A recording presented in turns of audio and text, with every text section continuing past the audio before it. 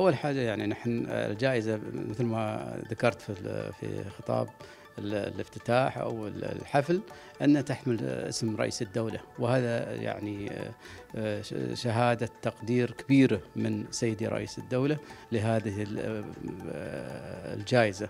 في نفس الوقت المعايير اللي تعمل فيها الجائزة معايير عالمية. يعني المؤسسات والشركات وحتى الدوائر الحكومية والمحلية باستطاعتها الاستفادة من هذه المعايير في الحوكمة في في الشركات أو المؤسسات الحكومية. ونحن حرص حرصنا كثير دائما على أن نحن نطور في هذه الجائزة. وعملنا من 19 سنة إلى الآن في تطويرها كل سنة أفضل. وإضافة مؤسسات أو شركات أو قطاع جديد لها، يعني بدأنا نحن باتجاه بالقطاع الاعمال إلى أن وصلنا الآن إلى التطبيب إلى الصناعة إلى البترول. والحمد لله في الجائزة في تطور. وحرص الشركات الآن على أنها تحصل على الجائزة لأنها تحمل معايير مميزة وعالمية في نفس الوقت ودولية.